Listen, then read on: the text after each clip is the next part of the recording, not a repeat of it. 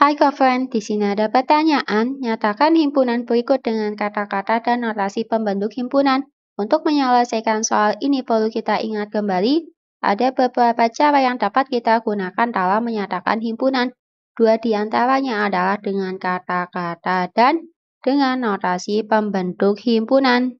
Pada notasi pembentuk himpunan, di sini untuk X merupakan anggota dari himpunan, sedangkan untuk PX merupakan syarat atau sifat keanggotaannya.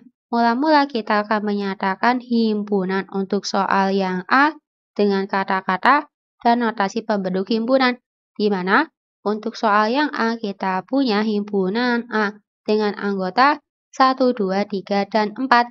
Untuk 1, 2, 3, dan 4 sendiri merupakan empat bilangan asli pertama.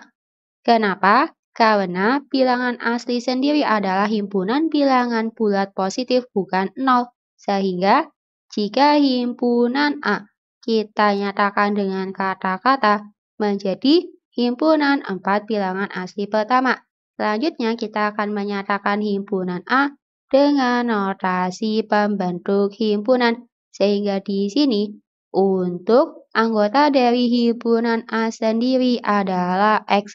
Dengan X di sini lebih besar sama dengan 1 dan X-nya kurang dari sama dengan 4. Kenapa? Karena untuk 1 dan 4 juga termasuk ke dalam anggota dari himpunan A.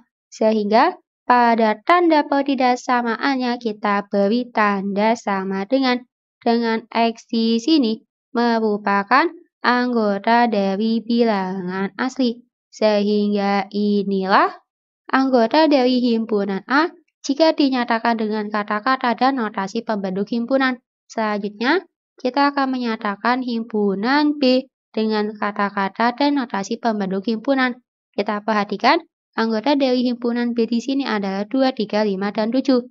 Di mana 2, 3, 5, dan 7 di sini merupakan empat bilangan prima pertama. Kenapa? Karena bilangan prima sendiri adalah bilangan yang lebih besar dari satu, yang faktor pembaginya hanya satu dan bilangan itu sendiri.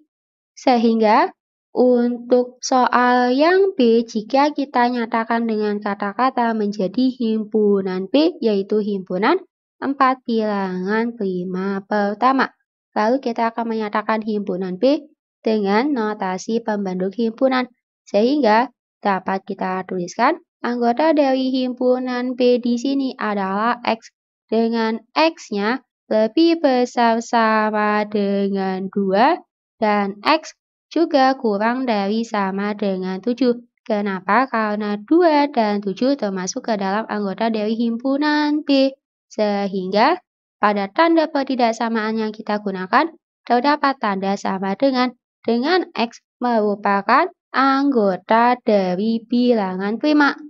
Sehingga inilah himpunan A dan himpunan B jika dinyatakan dengan kata-kata dan notasi pembentuk himpunan. Demikian, sampai jumpa di pembahasan soal selanjutnya.